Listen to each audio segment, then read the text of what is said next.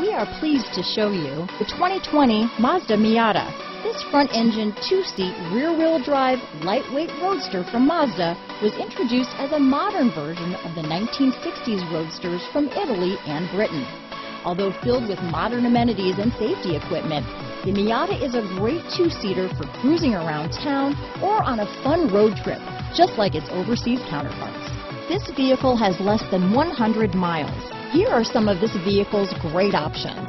Traction control, dual airbags, power steering, four-wheel disc brakes, trip computer, heated front seats, rear window defroster, electronic stability control, power windows, panic alarm, tachometer, remote keyless entry, brake assist, front bucket seats, tilt steering wheel, driver vanity mirror, passenger vanity mirror, speed control, rear spoiler. A vehicle like this doesn't come along every day.